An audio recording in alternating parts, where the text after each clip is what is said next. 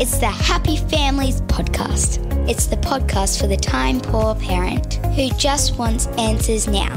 In each of those moments, I was reminded of just how amazing these three individuals are, and yet how vulnerable they are. And now here's the stars of our show my mum and dad. I don't know if we've ever had so much feedback on a podcast as we got yesterday. The conversation about Barbie has They all came from your staff. sparked some, some noise. Yes, my staff were very excited. What's What's fascinating to me about this, Kylie, um, is the there there are so many people who are angry about Barbie, but they haven't watched it, or they're uh, I don't know clinging to some political position. Um, I'm I'm pretty non-politically oriented. I just want people to be good to each other and know who they are. And to me, that movie said that. Didn't love everything about it. I was pretty clear about that. But it's a movie that gets you thinking. What? Why sit there and watch something mindless when you can actually watch something that makes you think? And and I'm just I'm so grateful that we got so many positive messages. There are a few people who weren't positive about it. That's fine. I'm okay with that. Uh, a couple of people also said um, Oppenheimer. We'd like to know what you thought. we need to talk about Oppenheimer. Wasn't it good to see that? Yeah, it was great. Okay, we're out of time.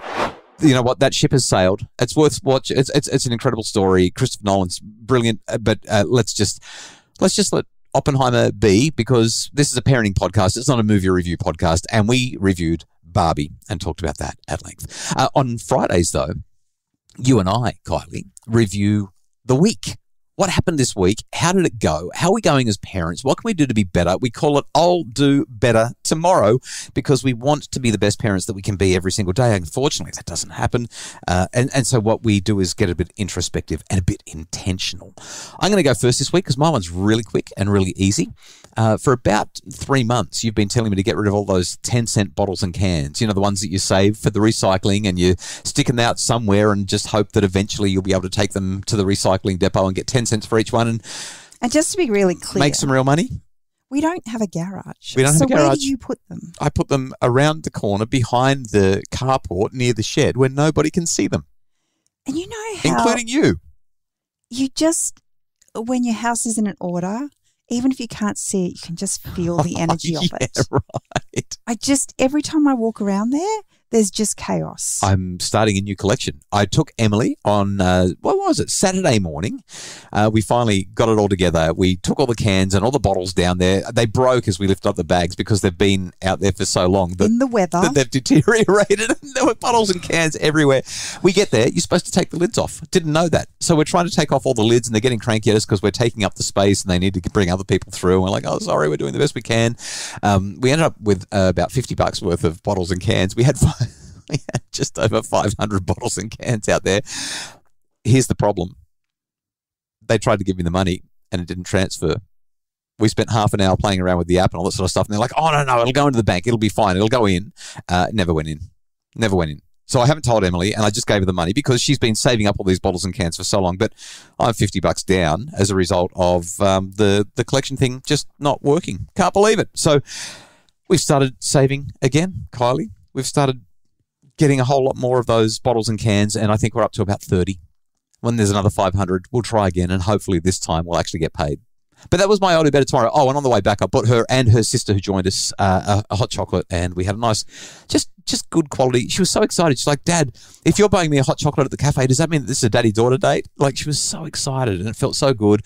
And I, I thought, yeah, th- well, these, she milked it that day because Mm. her big sister asked her if she'd ta go to the beach with her while they walked the dogs. Yeah. And she said, Is this going to be a sister sister date? right, she's after another treat. And she said, Yeah, I guess so. And she said, Will you buy me an ice cream? that's so funny. This nine-year-old knows how to work the system. Uh, so that's my order better tomorrow. Just the, the small things: hanging out in the car for a few minutes, playing around at the stinky bottle recycling place, um, and then going for a hot chocolate. Uh, Really simple things, but it makes such a difference. Memories, fun, togetherness, connection, time.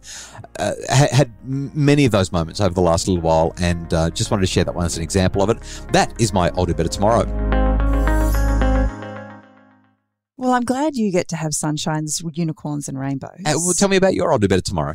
Well, I actually had a really beautiful experience with one of our daughters. I had to take her to an appointment, and in the process of that appointment, I just I was able to kind of see with new eyes the challenges that she was going through. Um, and it was it was a really really beautiful moment. Coming home, as the evening wore on, there was just I, I could just see there was mm-hmm. some emotion there and, and a need for kind of connection. And so I was able to kind of wrap her up in my arms in my bed, and we sat there and we had, you know, a beautiful connective chat together. And um, before she left, we said a little prayer and I gave her some oils specifically for her and um, sent her off to bed. And it was just really calm. Well, the next thing, you know, I've got the next daughter who's having a bit of a meltdown. And so we had to go through the same process with her. By now it's like, I don't know, quarter past nine. I'm, I'm really ready for bed. You have been traveling all week and I'm doing this all alone. I've got Miss Nine who's walking around the house because she is consistently procrastinating bedtime. And she shares a whole heap of um, challenges that she's going through at the moment and not sure how to kind of work through them. And so we deal with that little meltdown. And again, we say a little prayer and we have some oils. And then the next daughter comes through the door and we start all over again. And so much of it is is exhausting. So much of it is draining, like mentally, physically, and spiritually, even like just a drain on my being. And yet, in each of those moments, I was reminded of just how amazing these three individuals are and how strong and capable they are, and yet how vulnerable they are. And you can be all of those things in the same breath. And so, my ideal bed tomorrow is just when we take the time to slow down and actually really connect with our kids, we see them for who they really are instead of seeing them for the challenges that they bring into our lives. We actually get to see their brilliance. And, and I was so grateful for that because when life is busy, it, it, you can really just get caught up in the challenge of everything but to be able to have those moments with them was really special. It's the highs and lows, isn't it? It's the roller coaster of parenting. Eh, it's literally in the same moment. It's not like you go from moment to moment. One is high and one is low. It's this moment is both so low because my child is struggling so much and so high because my child has come to me to say, I need to talk. And I think that's what I relished. I, I just was this acknowledgement that there was so much big emotion going on for all of them, and yet they knew where to come. Yeah. And I'm so grateful that in spite of that challenge, that they see me as a place that's safe, that well, they're able to come and and just find the love and connection and acceptance that they need in that moment. A little bit of a shorter, I'll do better tomorrow than normal, a shorter podcast than normal, but really uh, one take home message and one alone, I think, and that is be there for the kids. T I M E is how they spell L O V E. The Happy Families podcast is produced by Justin Rulon from Bridge Media. Craig Bruce is our executive producer.